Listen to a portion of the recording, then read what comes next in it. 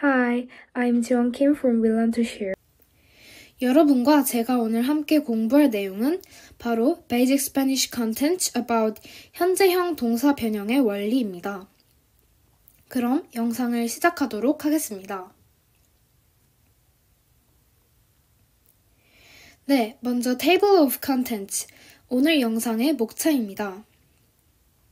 첫 번째, Part 1에서는 Basic Principles of Spanish Verb Conjugation으로 스페인어 동사 변형의 기본적인 원리와 방법에 대하여 함께 배워보도록 하겠습니다.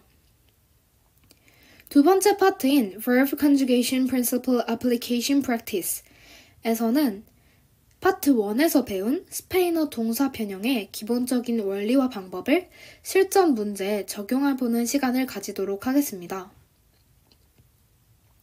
마지막으로 파트 3, Conclusion에서는 오늘 영상에서 배운 스페인어 동사 변형의 원리에 대해 정리하고 다음 시간에 배울 컨텐츠에 대해 간략하게 소개를 한 후 영상을 마쳐보도록 하겠습니다.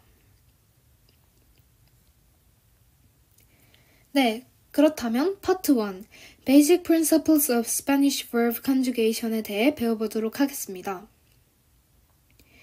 네, 스페인어 동사 변형은 아래와 같이 6가지 인칭에 따라 이루어지는데요.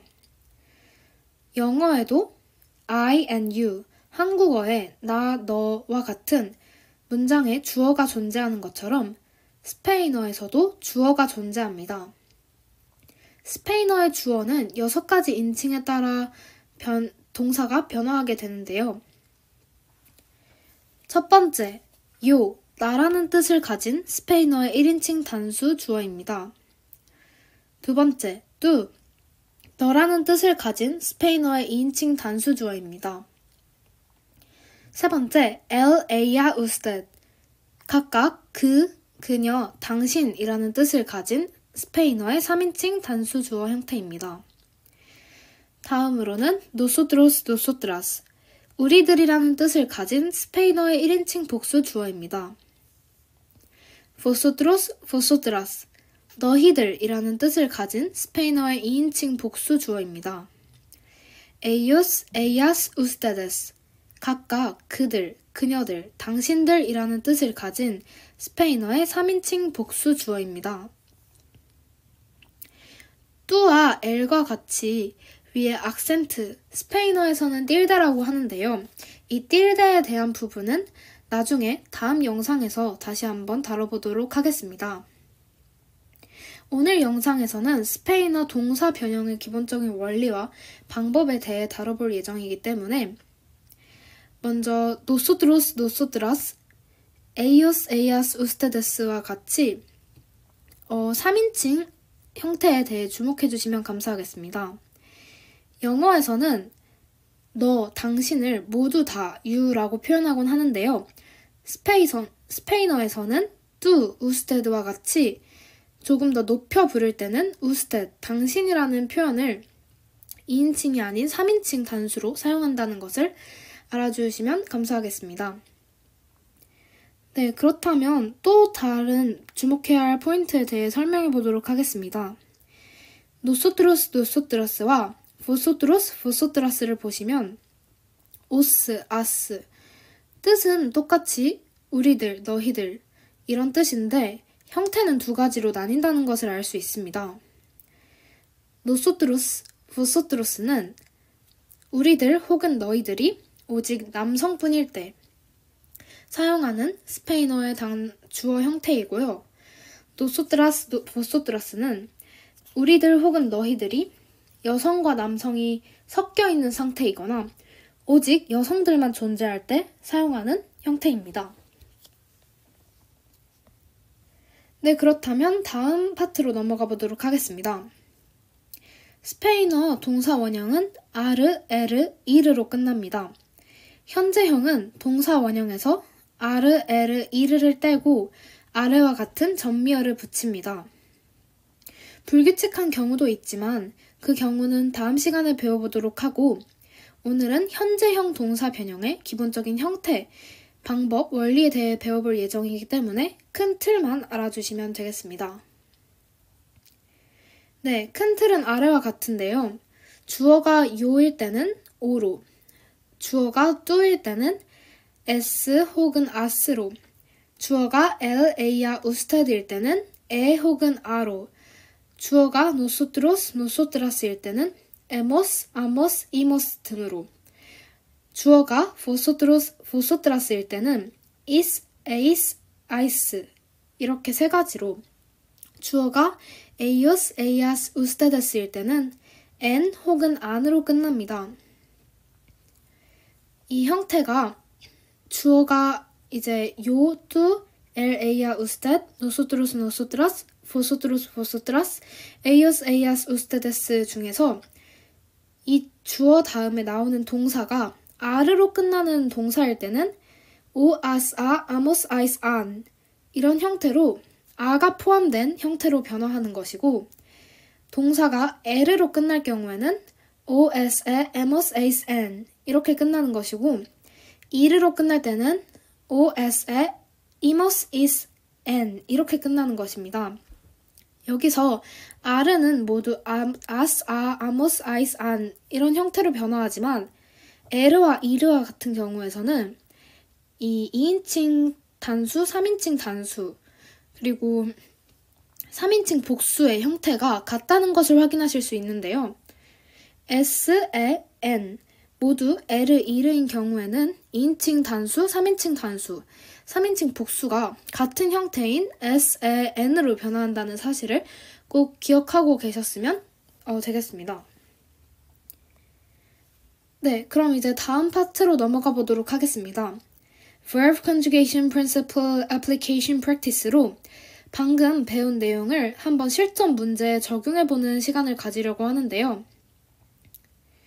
아래 사진은 스페인어 기본 동사의 현재형 동사 변형 형태입니다. 세 가지의 동사가 있는데 깐따르는 노래하다라는 뜻을 가진 동사이고 베베르는 마시다라는 뜻을 가진 동사이며 비비르는 살다라는 뜻을 가지고 있는 동사입니다. 방금 설명했던 원리가 이 표에 잘 나타나 있는데요. 도, 주어, 주어가 요일 때는 동사가 이제 깐또로, 베보로, 비보로 바뀌는 것을 보실 수 있습니다. 앞 PPT에서 설명했던 것처럼 오 모양으로 끝나는 것을 아실 수 있는데요. 깐또, 베보, 비보 이렇게 깐따르, 베베르, 비비르 동사가 아르, 에르, 이르 형태를 벗어나 그 부분이 오로 끝나는 전미어가 붙여져서 변화한 것을 확인하실 수 있을 것입니다. 하나씩 읽어보면 깐따르 동사의 현재형 동사 변형 형태는 canto, cantas, canta, cantamos, cantáis, cantan beber 동사의 스페인어 현재형 동사 변형 형태는 bebo, bebes, bebe, bebemos, bebéis, beben vivir 동사의 현재 변형 형태는 vivo, vives, vive, vivimos, vivís, viven 이렇게 확인하시면 되겠습니다. 네, 그렇다면 실전 문제에 한번 방금 배운 원리를 적용해서 풀어보도록 합시다. 아래의 동사들은 어떻게 변할까요? 방금 배운 원리를 적용하여 실전 문제를 풀어봅시다. 네, 모두 풀어보셨나요? 정답을 함께 확인해 보도록 합시다. 네, 시작하다라는 뜻을 가진 empezar는 empiezo, empiezas, empieza, empezamos, 이렇게 변하는데요.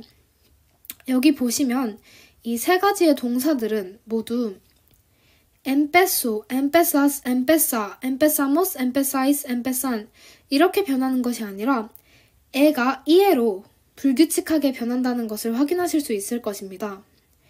사실 이 문제는 오늘 배운 영상으로는 맞히기 어려운 문제였는데요. 다음 시간에 스페인어 형제형 동사 변형의 불규칙한 경우에 대해 저와 함께 배워보면서 이 문제에 대해 다시 한번 다뤄보도록 합시다. 두 번째 동사인 깨레르, 좋아하다, 원하다라는 뜻을 가지고 있는 스페인어의 동사인데요. quiero, quieras, quiere, queremos, queréis, quieren 이렇게 변하는 것을 보면 깨로 깨레스 깨레가 아닌 깨로 깨레스 깨레로 변하는 것을 보시면 이제 u가 이제 어, e가 ie로 마찬가지로 변한 것을 확인하실 수 있는데요. 이런 불규칙한 경우에 대해서 다음 영상에서 다뤄보도록 하겠습니다. sentir도 마찬가지입니다. 느끼다라는 뜻을 가지고 있는 스페인어의 동사인데요. sento sentes가 아닌 siento sientes siente sentimos sentís sienten으로 변하는 것을 확인하실 수 있을 것입니다. 이렇게 애가 이해로 변하는 불규칙한 경우뿐만 아니라 음, 다른 경우도 있는데요. 그런 불규칙한 경우에 대해선 다음 시간에 함께 배워보도록 합시다. 네, 이제 그러면은 영상을 마무리하도록 하겠습니다. 이제 오늘은 어, 스페인어 현재형 동사 변형의 형태에 대해서 한번 함께 알아보았는데요. 이 원리와 방법에 대해서 추가로 궁금한 내용이 있으시다면 댓글로 주, 질문해 주시면 감사하겠습니다. 어, 윌런 투시어 채널을 좋아요와 구독을 눌러주시고 다음 영상에서는 스페인어 현재형 불규칙 동사에 대해 함께 배워보도록 하겠습니다. 오늘 영상 끝까지 시청해주셔서 감사하고 그럼 영상을 여기서 마쳐보도록 하겠습니다. 감사합니다.